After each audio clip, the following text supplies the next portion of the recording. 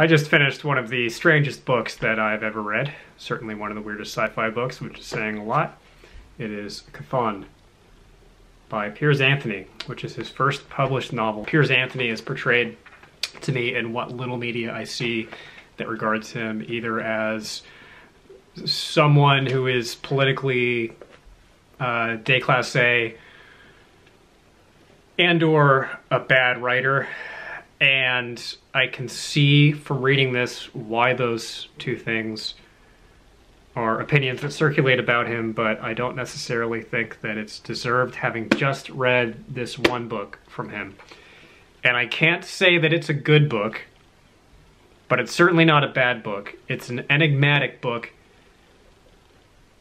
that I would be hard pressed to actually recommend to anybody that I knew personally to read. It's one of those books that you can't just hand to a friend and say, here, read this, you'll enjoy it, and have them look at you exactly the same way afterwards, or be grateful that you made the recommendation. But I do recommend you, stranger on the internet, read this book. I would give it definitely a 7 out of 10.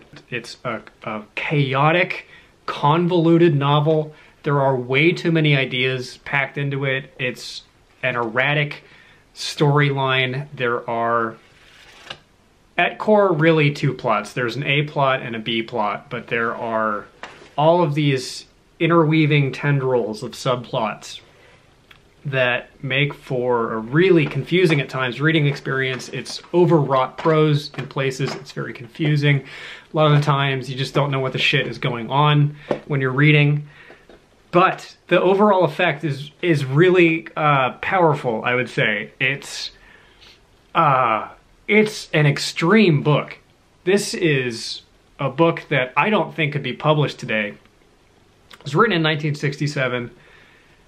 It is sexually extreme. It is brutally violent. And the protagonist is a, a fairly profoundly unlikable character who uh, commits multiple crimes throughout the book. Don't read anything about this book. If you're not familiar with it, if you haven't heard of this book, and if you haven't read it, do not read anything on the internet about it because every single fucking thing that is written about this book spoils the major plot twist in the book. And it doesn't come until the last, I don't know, quarter of the book and everybody just leaps over themselves to tell you exactly what happens because it's so outrageous and outlandish, which it is, but it would pack a, a way bigger punch reading the book if you didn't see it coming, although there was some pretty heavy-handed foreshadowing. And unfortunately, I knew the plot twist going into it, so it, that definitely took something away from it, I think. But the basic story, without any spoilers, the basic story is there's a young boy born on a planet called Hvee, H-V-E-E, where the main crop, the main industry is cultivating this plant. It's a sentient plant or semi-sentient plant that is bonded to a single owner as a, a token of love from a marriage partner. And the plant can only live as long as the love remains true and it dies when love dies and this boy encounters a mysterious woman in the woods playing a song on a mysterious instrument with red hair who uh, he falls in love with.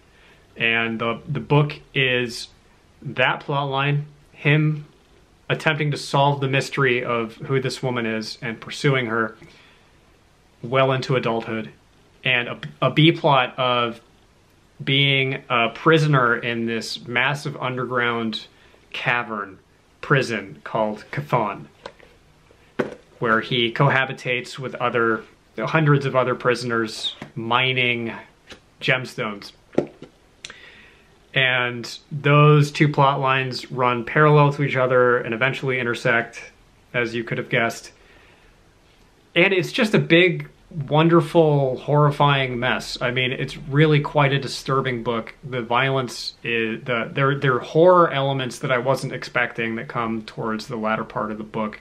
Really pretty extreme horror, sci-fi horror, which is a rare flavor and one that I actually consciously seek out. I really like sci-fi horror and there's not a whole lot of it in the world that is done well. And this is, go figure, an example of it, which I didn't uh, think was the case going into it the prison story works on its own momentum. It is really gripping, genuinely gripping. It's a really well told sci fi story. Uh, and the A plot of him pursuing the love interest just goes to places that are are just so bizarre. Not even like the big plot twist, which which is famous. It it just it takes you through these plot cycles that are just bizarre, almost indescribably bizarre. And it's it the universe constructed in this book has like 35 moving parts and most of it is not really satisfactorily resolved. So it's like uh, it's it's like those jars full of mismatched jewelry that you see at Goodwills from time to time. And there's a lot in there that is glittering and appealing, but there is just a lot of bullshit as well that should have been thrown away. But it's still it's worth buying. If you have a strong stomach, if you uh, can wade into the the murky past of the late 60s and cope with a level of, I would say, unapologetic horniness on Anthony's part that is pretty alien to today's sci-fi writing, writing in general. If you can if you can deal with that, if you can deal with sexual violence, if you can deal with extreme sexual themes, and if you can deal with extreme violence violence and and horror, and you just you you're curious to read a book that is not always actually enjoyable to read and leaves you scratching your head. Then i i wholeheartedly endorse this book. It is a very mixed bag.